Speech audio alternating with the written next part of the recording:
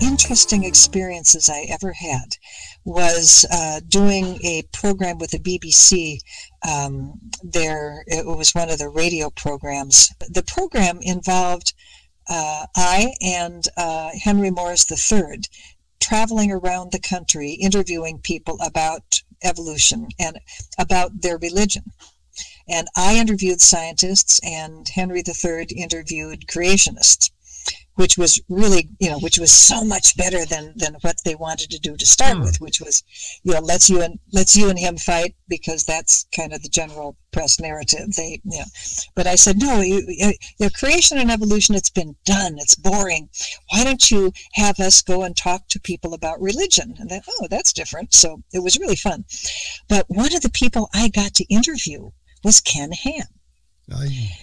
And so uh, he, you know, the advance work, um, his people didn't quite make it completely clear to him what was going on.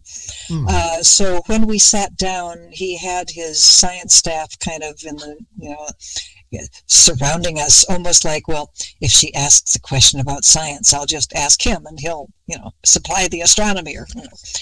and so i could tell that there's something you know he, he clearly didn't understand what the purpose of this interview was so what I did was start off our discussion by saying, well, you know, we're not here to debate creation and evolution. He looked a little disappointed, but there you have it.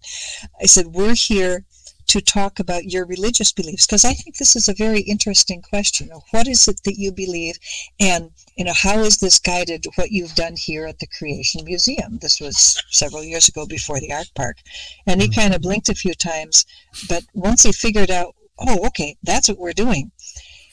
It was absolutely fascinating because basically he um, he launched forth with this description of his religious beliefs and why evolution is so important to him.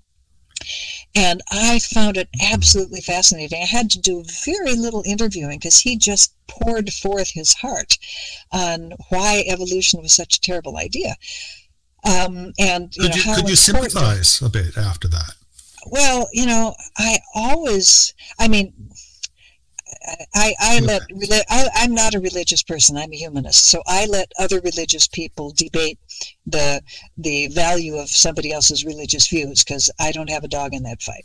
But I I certainly understood him better, um, and I understood why he feels so strongly about uh, trying to turn, especially children, away from evolution. In a nutshell, um, it's because children are going to, if they, if they quote believe quote evolution, they will stop believing in God. They will stop believing in the Bible they will go to hell and not be reunited with God at the end times, nor will they ever see their beloved family members again, nor will their family members see them, which is a very, a very big issue. Uh, and uh, they will not have the moral guidance that the Bible provides. It's like a deal breaker, I guess. It's it is. I mean, it is it is totally unacceptable from that point of view for evolution to be correct because they believe that, that evolution results in a cascade of disaster for young people. So they fight very, very hard to keep it from happening.